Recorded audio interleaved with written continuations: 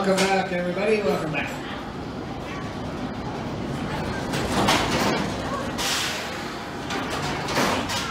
Hey, go ahead, reach down there, push up on your bars. Good job. See y'all when you get back. You should be back there by 3 or 4 o'clock this afternoon.